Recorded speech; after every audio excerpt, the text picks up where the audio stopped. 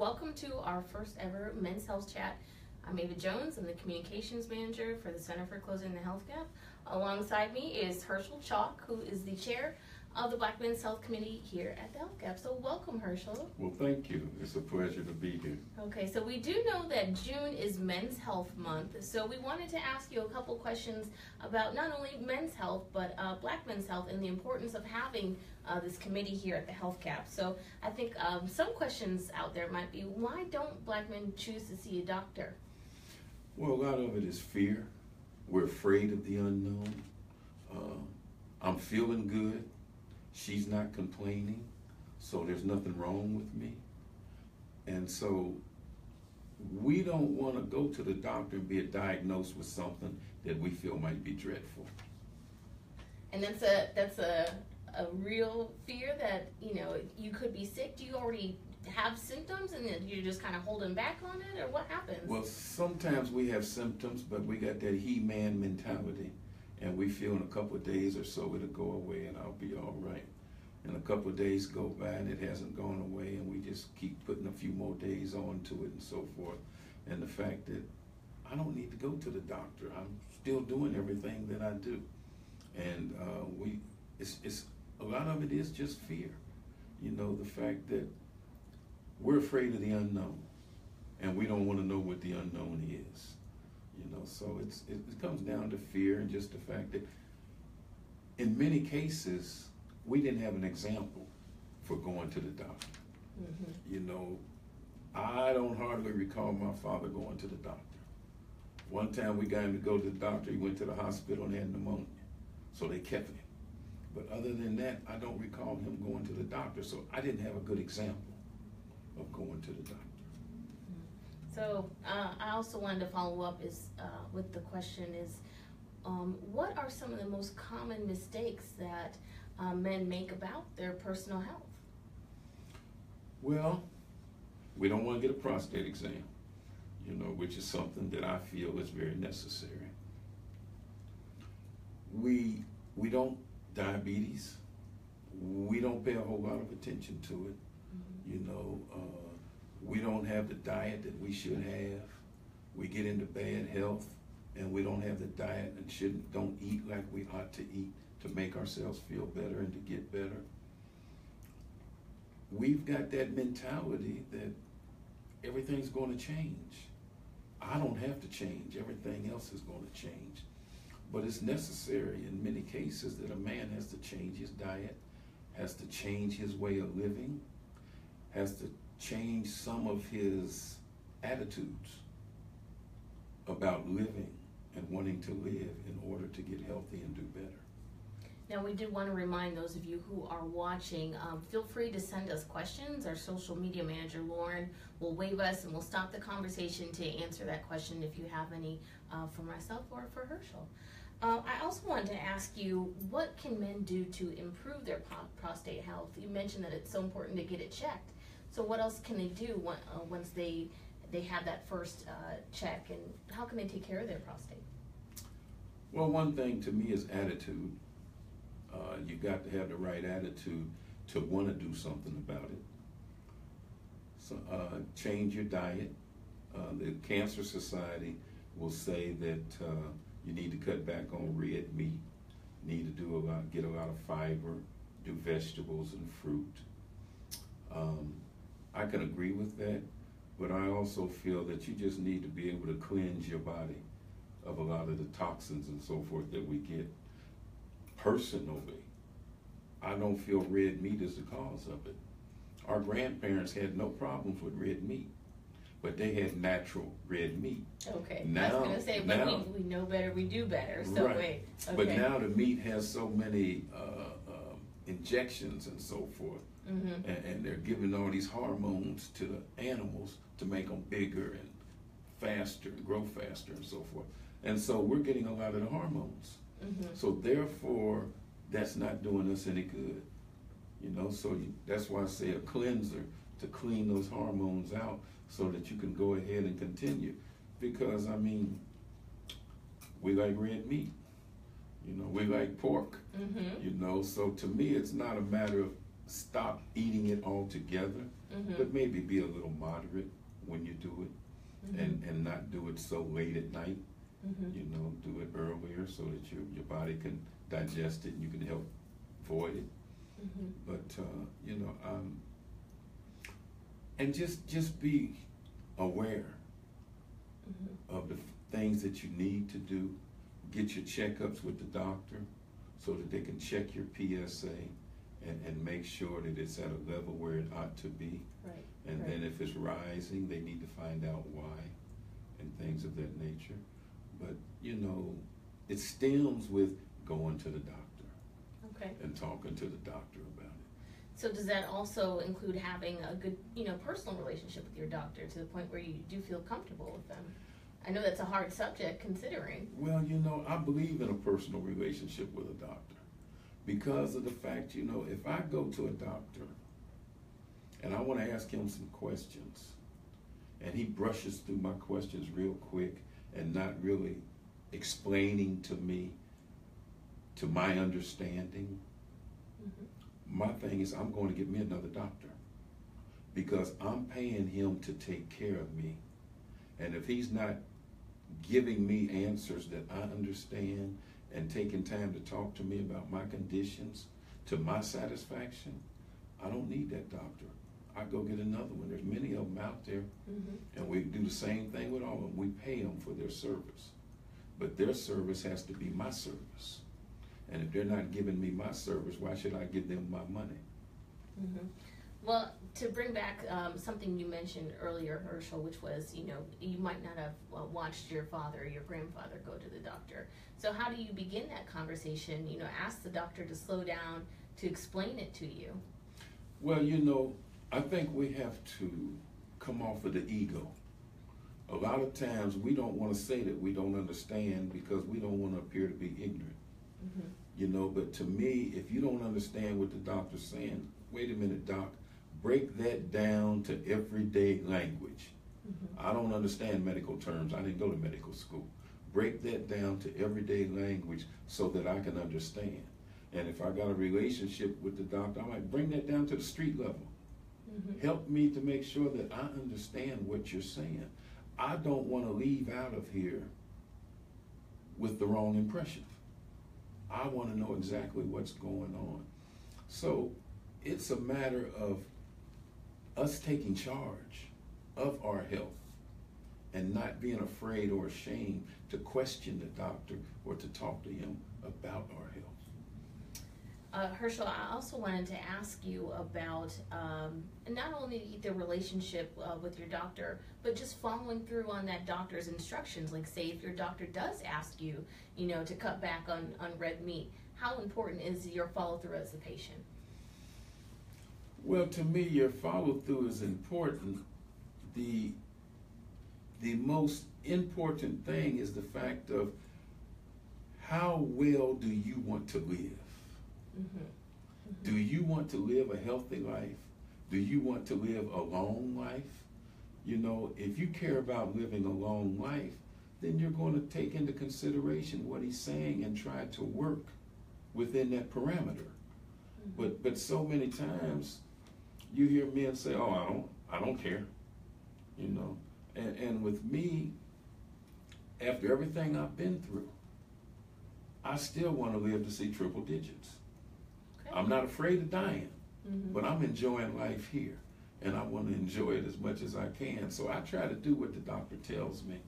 Um, if I have questions about it, I will question the doctor and have him, have him explain to me further what it is that I need to do and why do I need to do it.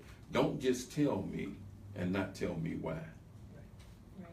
Well, as I did mention earlier, uh, Herschel is the chair of the Black Men's Health uh, Committee here at the Health Gap. Tell us a little bit about the committee and, and what you're responsible for. I know you host some big events, um, the main one being uh, November or fall. Um, talk to us about the committee. Well, we've got a committee of men that we come together and we try to come up with ideas that we feel are beneficial to black men's health, where we can educate and give information. Um, we usually try to bring in a good speaker who will draw men to the seminar. Mhm. Uh, it's difficult to do. It's hard getting black men to come out and find out about health or to find out how they can improve their situation in life. Uh, we, we, we just don't want to admit to anything. Mhm. You know, it's, it's that he man, that ego. Mhm. All those things are detrimental to us. And, and the fact that so many times we think we know it all.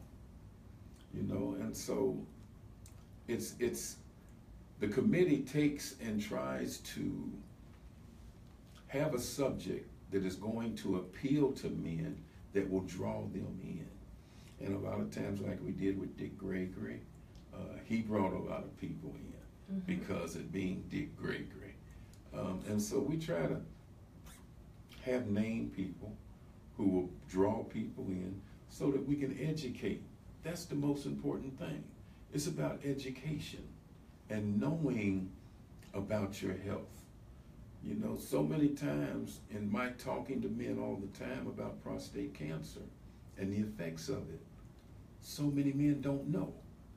They don't know what they can do to take care of different things. You know, so they go ahead and suffer needlessly. You know, so it's about education and, and keeping people informed about their life and the aspects of it to make it better. When you talk about so many different uh, topics, it's not just prostate. You talked previously, I know, about um, mental health. Mhm. Uh, we talked about diabetes, hypertension. What else have you talked about uh, with the committee and trying to bring attention to? Because there's so many health topics we know, but right, right. um, there are some large ones that are, uh, you know, I would think leading uh, killers of African American men. So, You're right. Um, we did talk about diabetes. mhm. We've talked about um, prostate cancer. We've talked about mental health.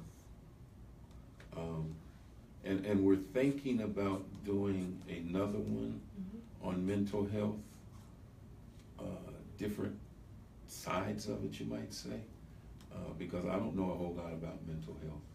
And unfortunately,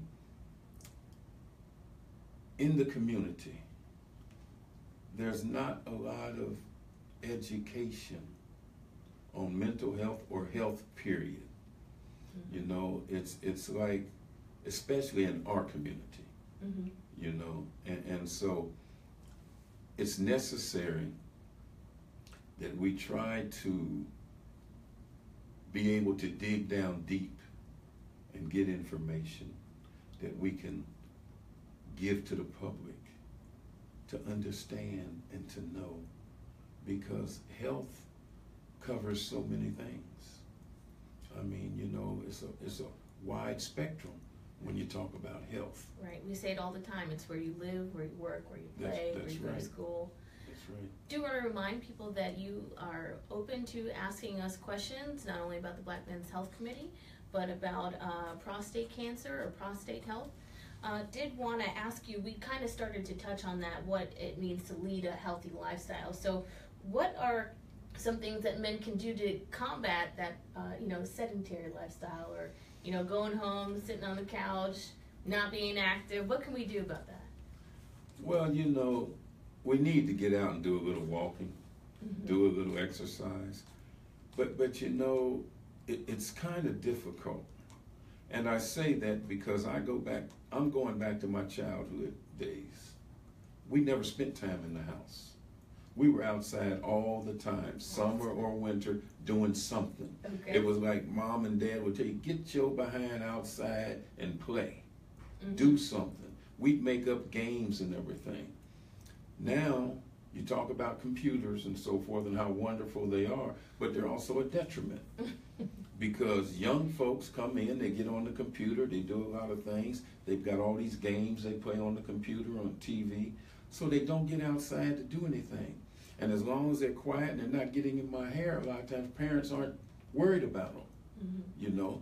And and so the kids do it, and they take the footsteps of the parent a lot of times. So dad comes in from work and that's what he's doing too. He's just sitting there. He's not doing anything, not very active. Not saying that he isn't tired and so forth. But a lot of times we have to set an example for the young folks. You know, uh, the fact of just getting out, doing a little bit of something. You know, maybe even take the kids out. Come on, let's go out and play. Uh, get a ball and a bat. Teach them how to hit a ball. Boys or girls, it doesn't make any difference. Because young folks are getting scholarships today for everything. Mm-hmm. You know, bowling, baseball, basketball, football, soccer, you name golf, you name the sport, there's a scholarship for it. Now, to me, you get out and help the kids so that they can help you when it comes time to go to college and save your pocketbook. so it's a push for a scholarship and a push for active lifestyle. there you go. There you go. You know, if you get active, the kids can be active and they can help you out in the long run. Okay. So, what are some of those questions that you may want to ask your doctor, you know, on your annual wellness visit? Well, how's my cholesterol, doc? Do I have diabetes? And if I do, how is it? And what can I do to combat it? Um, how's my prostate? How does that look? Mm-hmm. And what does 3.9 mean on my PSA? What does that mean? Well, your PSA has numbers assigned to it. Mm-hmm. And, and the numbers are what the doctors go by to see if there's a possibility of cancer. And when it gets so high, they say there's a level of four, and, and that's the safe range from zero to four. But if it gets over four, then they really want to start checking it. And so if they think that there might be some cancer there, they'll do a biopsy, and uh, the biopsy will tell whether or not there's cancer present. But, you know, um, if you've got an ache or a pain, tell the doctor about the ache or pain and find out why you have that ache or pain. You never know what it can bring about. Mm-hmm. When you're a younger man, you always have to worry about things like testicular cancer. Mm-hmm. You know, talk to the doctor about that. You know, because you never know what can be present. And sometimes if you're going in for a physical, make sure you're getting a complete physical, mm-hmm. checking everything. Well, should you be talking to your doctor about, I don't know, your stress level, even if it's not, I don't know, blood pressure related? Well, you know, you should be checking your blood pressure. And if you have stress, you have to change your attitude. You know, because uh, to me, I'm not a doctor, but to me, stress a lot of time is self inflicted because you let everything bother you. You know, in my opinion, if I can't do nothing about it, I'm not worried about it. I'm not going to let it bother me. Mm-hmm. So if I can't control it, there's no need in it bothering me. And, and so the important thing is you have to be able to put stress aside. You know, I, I, a lot of times something has to happen in life to make you get that outlook. Cancer made me get that outlook. I don't have stress. I don't let it bother me because life is too precious. Okay. Again, uh, this is our first ever uh, men's health chat. June is uh, Men's Health Month, and joining me is Herschel Chalk, who is our chair of the Black Men's Health Committee here at the Health Gap. I also wanted to ask you a little bit about um, what people can do to maybe um, share the word about good health with, say, their uncle. You know, someone who uh, might not go to the doctor now, might be scared. What can they do to, to talk to them, to encourage them to go uh, to see a doctor or to get screened at, say, a health expo? Now, that's a difficult question. Is it? and, and, I say that because of the fact that I was diagnosed with prostate cancer. I had uh, surgery and everything, got rid of my cancer. Mm-hmm. My father was having some problems, but he wouldn't talk to me. And, and him being the type of person he was, I really could not approach him about that. And, and so a lot of times it's difficult telling a relative or something. Mm-hmm. Now, as I go around the country and I'm talking to men, it's no problem. We don't have that personal relationship, and I, I talk to them about it. I'm very straightforward about it, and I will ask them questions. And generally, they don't have any problem talking to me about it. Mm-hmm. But when you're speaking of family and so forth, you know, a lot of times the older relatives will take an attitude because they don't want to share. Mm-hmm. They don't want you to know what their problems are. And so therefore they're going to suffer and they're not going to let you know. But I say keep trying. Uh, be like that good wife. Nag them. keep on, keep on staying on them and talking to them about it. And eventually you might break them down. You might get them to understand. Let them know I'm not trying to get into your personal business, Mhm. but because I love you, I'm trying to be helpful. I want to make sure that you're going to be around here for a while. You know, use grandkids or nieces and nephews as an example because I want you to be around to instill in them some of the values you instilled in me. A lot of times we got to make them feel as though it's necessary for them to be around so that the younger folks will be able to learn from them. You know, we, we have the ego, but we like to know that somebody feels as though they need us. You know, so a lot of times you got to make them feel and let them know that they are needed in order for grandchildren or nieces and nephews to be able to get the right education from the elders so that they can grow and, and be a little knowledgeable. Okay. So as you have traveled the country, what are some of the common questions that, that people have for you or want to talk about you with that you, that you feel comfortable sharing? Well, basically, I'm going around the country because of prostate cancer. Mm-hmm.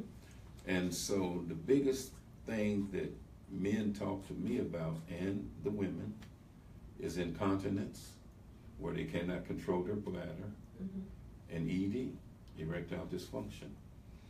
And so, so many times they have these problems, but they don't know that there are remedies and things that you can do to take care of the situation so you don't feel embarrassed and be in a situation to where it changes your lifestyle.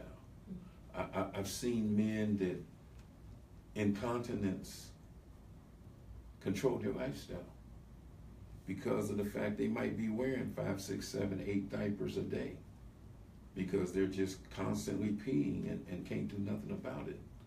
And, and so, therefore, they don't want to go anywhere. They're afraid they might have an odor or they're afraid they're going to have an accident.